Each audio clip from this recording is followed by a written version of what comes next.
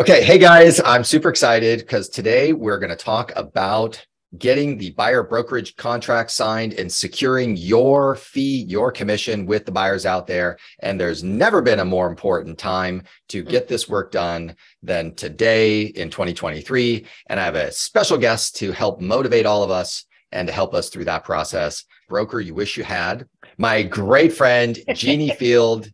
Ginni, could you start with a little bit about there was a survey done with a lot of the brokers across the United mm-hmm. States, and a, a high percentage of them were not concerned with mm-hmm. the current uh, DOJ, or if you mm-hmm. can elaborate on whatever that is. Things, yeah. Yeah.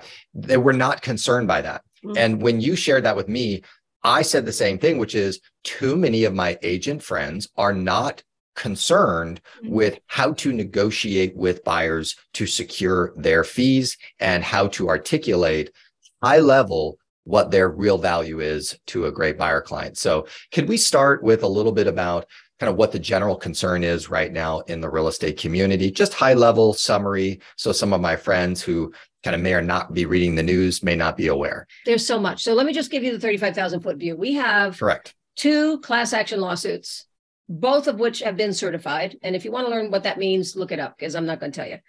Uh, one of one one of them was done was certified last year. The other one was certified this year.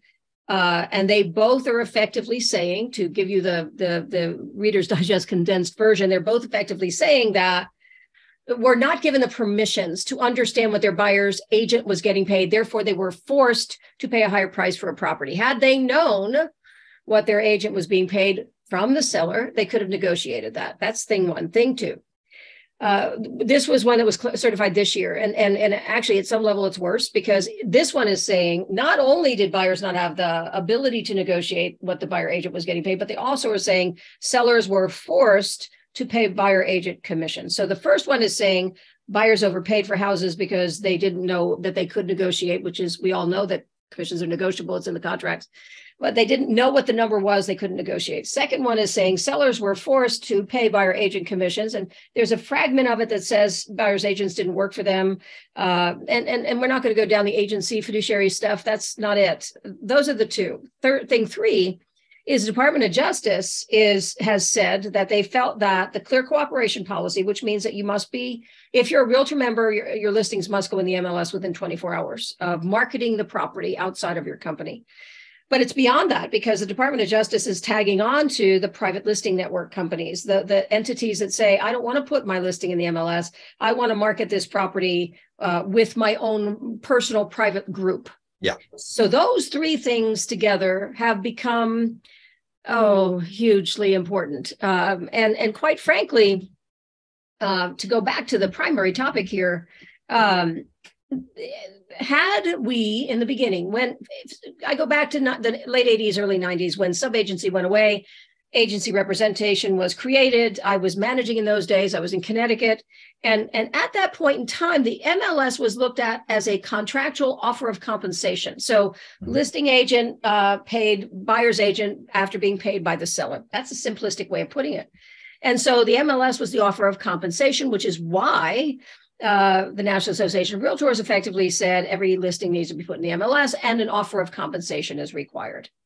Back in those days when it first launched, Patrick, it was it was brutal. I mean, but some of it is the same thing we're seeing now. You know, I, I have seen things that people should not be doing, such as on one of the forums on, on a social media site saying that that seller's only that listing agent's only offering me hundred chicken wings, and I'm not going to show that property because of the lack of chicken wing compensation to me. I mm-hmm. love chicken wings. Correct. And so all of those things became the, the, big the big elephant in the room. And it's a big elephant in the room. You, we have to remember that the consumer has to we have a responsibility to the consumer. Doesn't mean we don't have the right to get paid.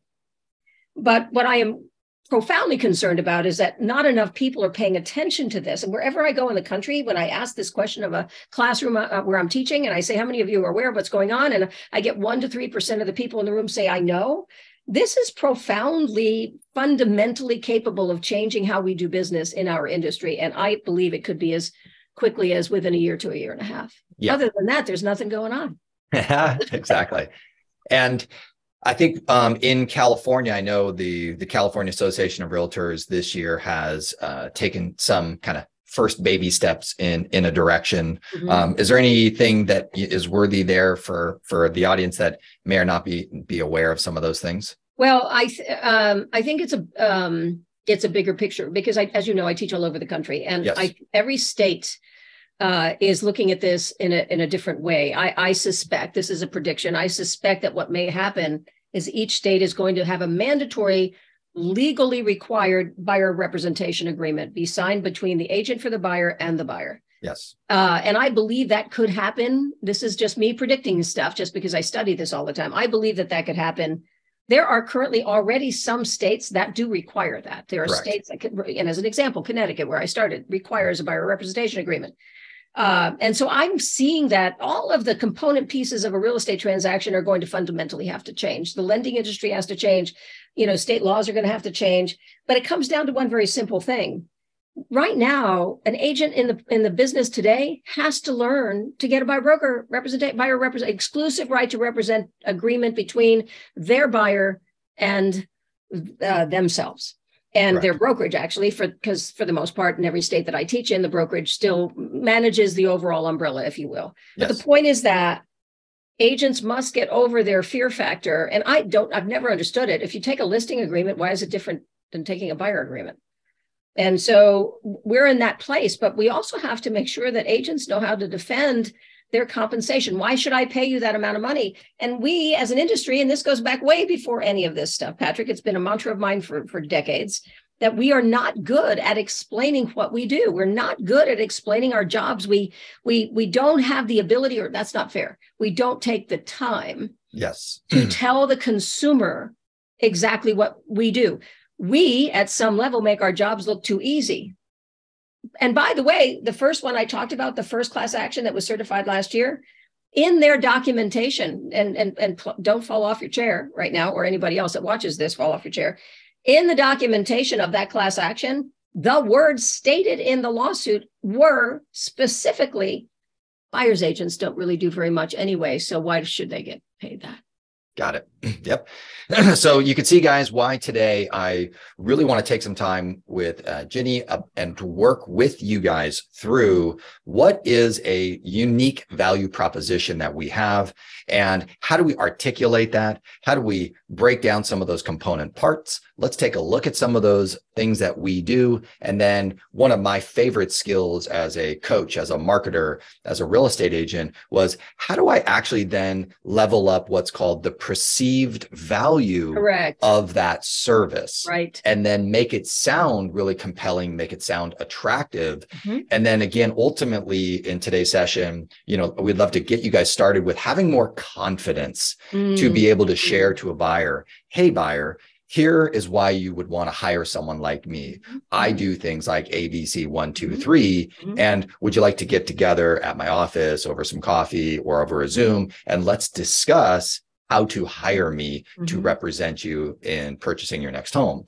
We need more confidence in that. and the only way you're going to get more confidence is not by learning some script that was taught at some, you know, blah, blah, blah. it's really actually, you know, getting some level of integrity around these are some of the things that I'm committed to doing to help my buyers' clients. Here's some of the ways that I protect my buyer clients. Here's some of the unique things that I'm doing in the marketplace to find and to secure my buyer clients a great property. Here's some ways that I like to negotiate to be able to win against competition. And these are some of the wonderful things that, that I would like to do for mm-hmm. you. And then here is a way to hire me to be the one that does that for you. Right. Right. So I think, you know, I like the linguistics of all of this me stuff. Too. Mm-hmm. Right. And and you know, you are as a, a broker, you are really at the technical level and high expert as well as someone who has still sells many homes I still sell you know, today. So mm-hmm. you know, so why don't we why don't we start there? And you know, if you want to maybe share a couple of your some of what do you think are some of the ways that agents should be approaching developing their unique selling proposition to a buyer what's what's on what's hot on your mind these days when when i think about my beginnings in the in the industry in 1986 and i remember back in the day you know back i joke about this patrick but it's true back in the day when i was first selling houses the phone was attached to the wall and we didn't yeah. have a computer and you know there was no exactly do, do, do. and i used to have a really long curly cord and you had your fingers you wore out your fingernail polish dialing the phone all of that is true Uh, and so we really didn't talk much about what we did, and and uh, and and frankly, we did a, a, bunch of dumb stuff. Dumb stuff meaning, sure, I'll meet you at the house at three o'clock, no problem. Didn't know if they were ex murderer or not. Right. That's what people did because we didn't pay attention. Today, required required and if i were still managing a brokerage today or managing other agents today and even when i teach this you must do the same thing with a buyer that you do with a seller and sit them down and spend the time asking great questions talking about how do you work? This is what i'm going to do for you. This is how i work. Please understand my job is to protect you to get the best deal i can possibly get. And by the way that also includes and you know this about me patrick no is one of my favorite words. There's a sign on my wall right over there. I'm not going to show you but it exists on my wall. And no is a complete sentence. And it's okay to say no. Right. But we first have to have the time. And I would share with you that every buyer and every buyer agent that they're working with needs to sit down for at least 45 minutes to an hour and just go through how it all works. That includes things like explaining, okay, we're going to go look, we're going to go shopping, we're going to find something that works for you. And then when we fall in love, we're going to write an offer. And after we fall in love and write the offer, and we're going to negotiate on it. So we have to explain what we do, and we don't do that. Years yeah. ago, years ago, I don't, I don't know how many years ago it was, but there's there was a former president of the National Association of Realtors uh, named Pat Combs, C O M B S, if you want to look her up, and she actually testified before Congress on what does a real estate professional really do. And you can Google this today, and and and it used to be 184, 186 things a real estate professional does. And when you sit down and explain all of that, I can share with you when I do it. Nobody has a problem with me getting paid. The coolest thing in the whole wide world is to have a buyer say, you know what, I can't wait for you to get paid. You've earned every dime. But that's yeah. because I'm talking to them throughout the process. This needs to be a collaborative relationship. Yeah. Exactly. And, and and and and and when you do that well, and let's pretend you're my client. So Patrick, I want us to get together at 10 o'clock tomorrow morning, and we're going to go through this entire process. Does 10 o'clock work for you? Remember those days, Patrick? Yes, that's 10 right. o'clock work? Does 10 o'clock work for does you? 10 o'clock work? It does work for some reason. I don't know why.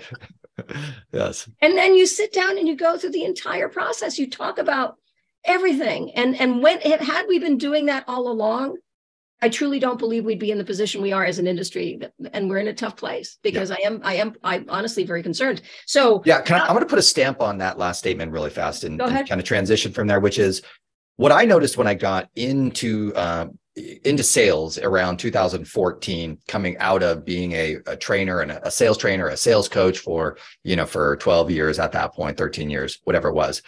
I, I came from the sales training industry. So it was really, what do we need to say? What do we need to do to get a contract signed? And most of the real estate industry was focused on getting listing contract signed. Yes. And so we had mastered the art of what is all the educational process? What is the sales process? What are the questions? What are the surveys? What yeah. do we need to be able to do to be able to help the customer you know make a good decision about listing their property with you at the price it's going to cause it to sell you know within a reasonable amount of time and handle all the objections and and negotiate all of the fees in the structure and so on and so forth. What i learned was the industry since i had been in it has spent 90% of its attention with some of the brightest minds in the industry, with some of the best coaches, the best trainers, with the top producers, all obsessing over everything on the listing process. And then when it came to the buyer, mm-hmm. it was almost like the stepchild, bastard stepchild in the room. And so I just want everybody in the, you know, my friends out there, maybe newer agents or some of my veteran agents, you please need to understand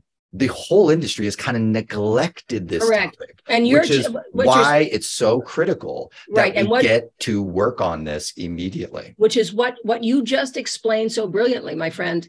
Is that's exactly why this first class action lawsuit can say, well, what do buyer's agents do anyway? Because exactly what you just described is true, and and we never took the time. Now and that's a collective we that's a 35,000 foot we. Were there people that did it from the beginning? Yes Absolutely. there were. But but but frankly we collectively didn't do a good job of explaining to the agent how they needed to spend as much or more time connecting with that buyer. You know people all the time say well you know they went to somebody else and and so what? Well did you ask for a buyer? Well no i didn't. Well that's on you dude. I mean if you didn't sit down and say here's my value. Here's what i'm worth for what I'm worth, I get paid this amount of money. And and and by the way, there's some two two things I need to jump in here uh, that are very important to to know. They're, they're, the code of ethics. This is because of the settlement with Department of Justice. And by the way, anybody that watches this can Google all this stuff and Google all they want and find everything. But but there were two things that changed within the code of ethics. Thing one was you can no longer say, oh, by the way, Patrick, my services to you are free because the seller is paying me. Can't say that. Oh, interesting. That's, Unless that's... you're really not going to get paid. Unless you're a tour guide taxi service and you're working in a charity business, you're not, you can't say that. Right. That's in the code now. Okay, interesting. I didn't know that. Yeah. And I know a lot of people don't know that thing too. You also have to make sure that well, the MLS rules have changed to make compensation transparent. That was a big thing. Yeah. Compensation is no longer hidden. And you are required, there's a three thing. You are required to make sure that your buyer knows exactly what the offer of compensation is on every transaction. And you cannot say to the buyer, well, I don't want to show you, or even to yourself, I don't want to show you that house because it's not enough compensation for me. Right. That's that's thing 2 mm-hmm. The thing three piece is that you must have that conversation and say, and, and this is again, it's part of thing two, but thing three. Just want to let you know, Patrick, that you know we talked about your criteria, and I found a couple of houses that fit your criteria. Uh, but one of them isn't, and this is after you have your contract signed. One of them isn't offering me compensation that uh, is is going to meet the agreement you and I had in terms of what I want to get paid. It's your decision, buyer. Do you still want to see that property, or not? mm-hmm. because you cannot not show a property just because you're not going to get paid what you think you're worth. Yes. It yeah, all comes down to communication and conversation throughout the entire process, which proves our worth. Yeah. And so let's just put a stamp on this one point, which is I have found with, you know, talking to many of some of the best buyer's agents in the country that this conversation about, hey, Mr. Buyer, at a consultation or in a formal setting, saying, do you know how we get paid? Correct. And then that conversation leads into, you know, in, in the MLS, the seller and the listing agent negotiate a fee that mm-hmm. goes compensation to me, the buyer's agent. And so I found that in that explanation, even with myself, the buyer was enlightened. They they appreciated that. And then what was fantastic is, you know, as we're all developing great rapport and deepening these relationships with with these buyers, the buyers start rec- you know recognizing your hustle and mm-hmm. recognizing what you're doing. Of course, we got to work on that too. Then when I shared with them what the, you know, you know, this particular listing, the fee is a little lower than what this other one was it was wild. I had many of them, you know, really on my side Correct. supporting me, right? right? And this was, and I and I never had gone through the process of saying my minimum standard is, mm-hmm. but it, it was just, you know, through the natural process of being Correct. a good educator, right. being transparent, and then doing a great job for my clients. A lot of times, some of the buyers actually they they write checks to their buyers agents be out of appreciation. Well be careful with that. Don't say those words because we can't write to checks directly to but we can process it through the transaction.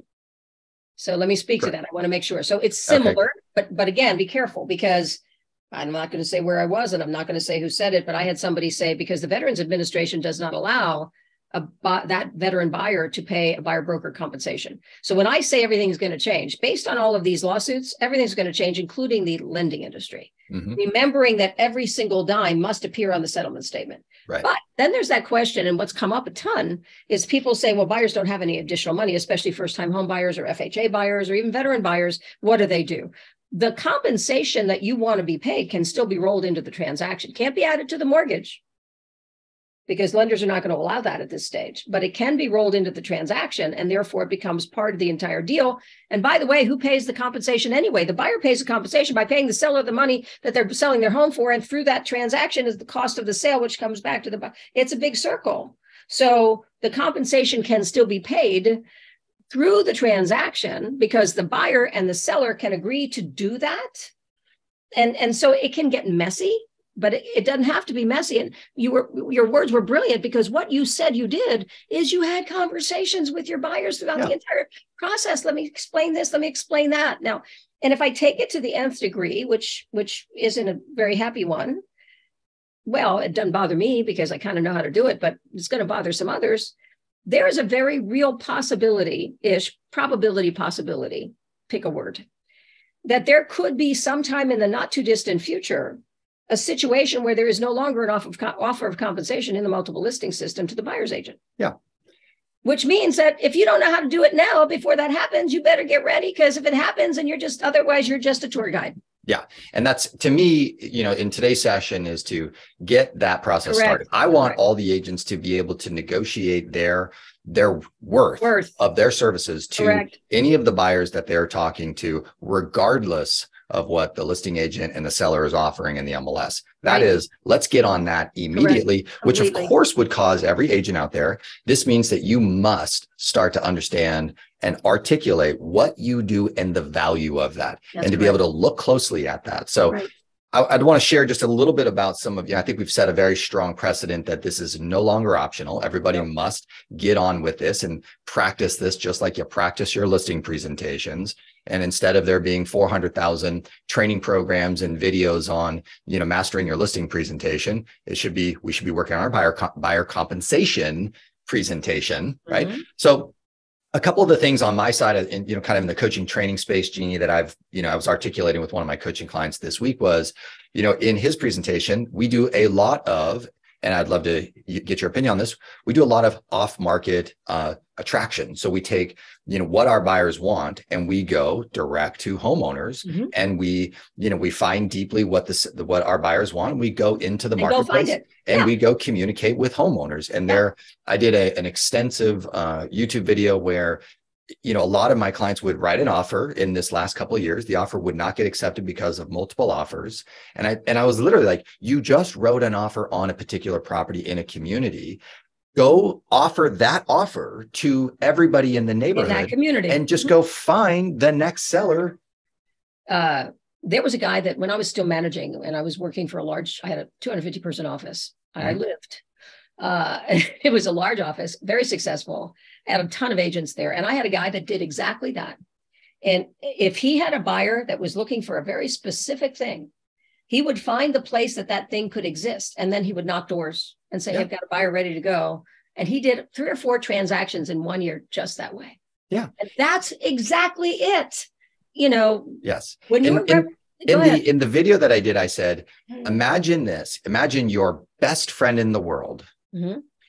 It comes to you and says i would like to buy a house and then there's no mls if the Mm. mls didn't exist Mhm. and you cared so dearly about your best friend in the world what would you do how are you going to find that house? right and this is where i thought it's and then i started with the easiest places to start Mhm. and then work your way down to the most difficult Mhm. the easiest place to start could you go into your phone today Yes. and see do I know anyone that lives in that community? Mhm. If you know another agent, you know a, a, a title rep, you know a banker, you know a you have a friend, you have a past client, anyone that you know, call them up and ask them, have you heard any rumors of one of your neighbors think about selling? I've got a great client. And like that's easy to do. Easy to do. You could go into your email database of you know hundreds of people and you can say, hey friends, would you do me a huge favor? I've got an amazing couple and they would be interested in buying in this neighborhood. I just wrote an offer. They're they're fully capable. Please, you know, if you've heard anything, let me know. Easy to do. Mhm. The hardest would be to go do the door knock,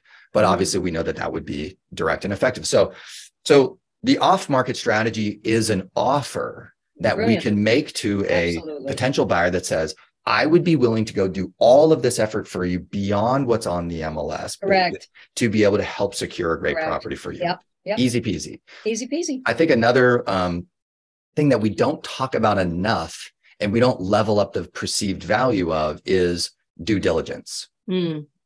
Right. So I just wrapped the term due diligence and I'd love to hear any commentary from you on this. But, you know, in California, we do the inspection and we do, we read the seller's disclosures and we may or may not, you know, set up a few more inspections on the property. Mhm. You know, we do, an, you know, the agent visual inspection.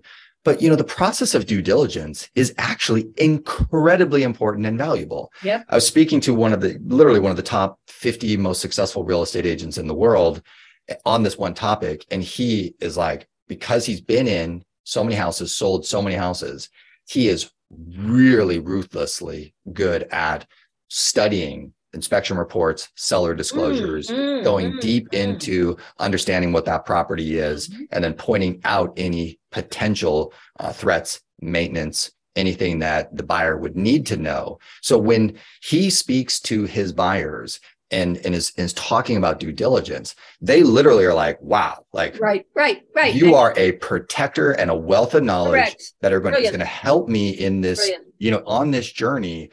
I absolutely want you, right? Right.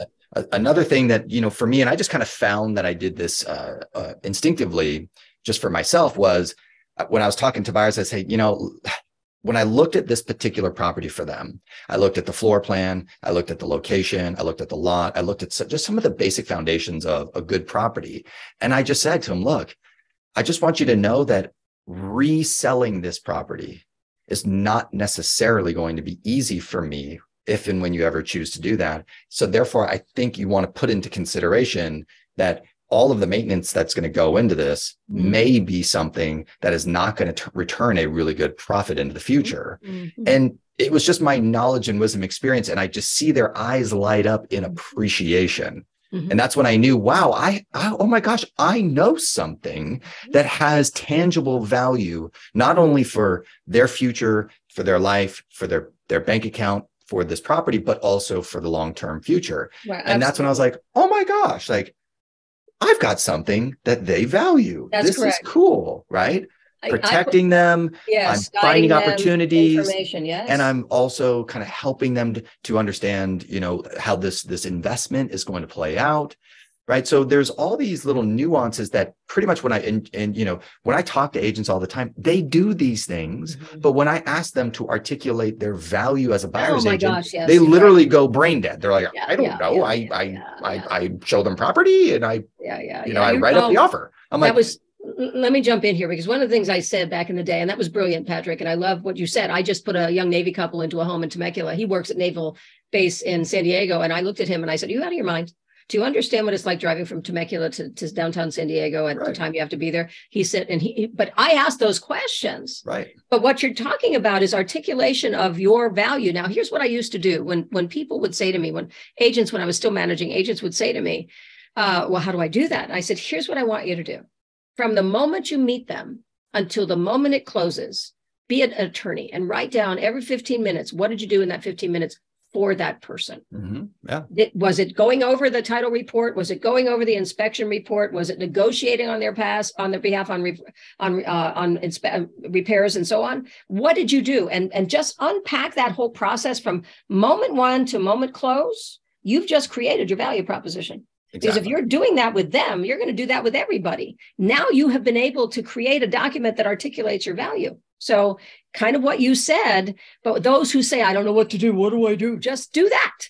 Yeah. I met Patrick today. He wants to look at this play, in their neighborhood. Here's what he wants to spend. And first 15 minutes or first hour, we did a buyer presentation. We talked about what I do. We talked about the process. I gave him a list of tasks, et cetera, he's going to be involved in. And I talked about what I'm going to be involved in. And that took an hour, hour one. Yep. Now keep going. Showed houses, looked for property, decided which ones, talked about I mean, it, it's not rocket science. It's just a different path than anyone's been used to doing since it all changed when sub agency went away in the late 80s, early 90s. I mean, that's how long ago? Yep. Yeah, it's exactly. A couple other things that I noticed for me just personally was um, t- talking to my buyer clients about you know how their purchasing power translated right. talking about what the cost of living in this particular property yes, was yes. Uh, discussing with them in more depth you know the cost of maintenance and repairs um, the the the different types of properties of you know okay are we you know what's pros and cons of new construction pros and cons of buying a remodeled rehab pros and cons of buying a property that was half remodeled recently ish mm-hmm. Buying the buying the, the as is property that needs a lot of love versus the investment mm-hmm. and then being able to you know talk about and be able to be a resource for those mm-hmm. different types of properties and then also being able to talk about different per, uh, price points in locations right. lifestyle qualities of those locations and then kind of what you get and so and it was only after i had looked at you know hundreds and hundreds of properties you know, and, and started to be able to go through many transactions that I actually realized, wow, oh my gosh, look at how much I know. Cool. Then when I'm now having a conversation with a buyer and I say, here's some of the ways that I like to, you know, help my clients find really the best property for them, usually in the ways that they may or may not be aware of today. Mm-hmm, mm-hmm. Then they're like, wow, this mm-hmm. is great. You know, this, you know, and then the more I also learned and interviewed many different lenders, correct, correct lending institutions, yeah. and started to get a sense of the lending world.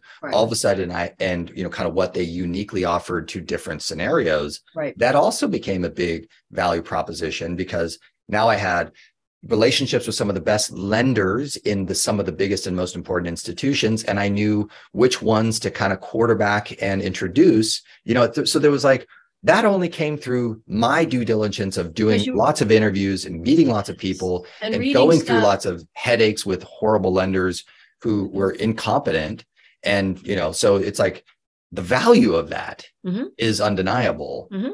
so and again there's translating those details yes and then leveling up the perceived correct. value correct, correct of your explanation of it correct and and also talk about things like again that young navy couple uh, HOA. They're moving into community with an HOA. What does the HOA mm-hmm. allow? What does it not allow? I mean, right. you have an obligation. I believe agents have an obligation to read those documents and understand them. Right. It doesn't mean you're going to be the be all end all. It just means you're going to have that conversation and say, because this couple had dogs and how many dogs you want to have and what can you do. But everything you just said is all articulation of your value. And the most important piece to that, and why is my business 100% referral?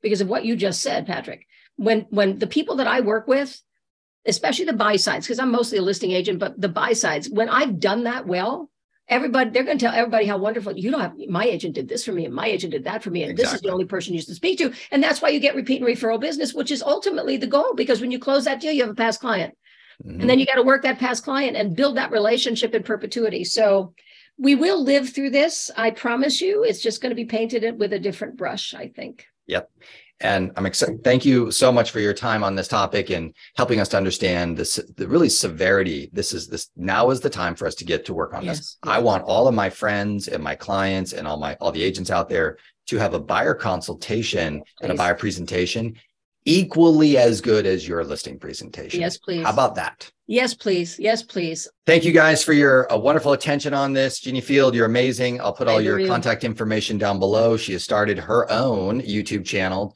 yes. very high level with some brilliant people in the industry. So yep. if you guys want to follow her, I'll find her on YouTube. I'll put a link down below and then we'll see you guys on the next episode.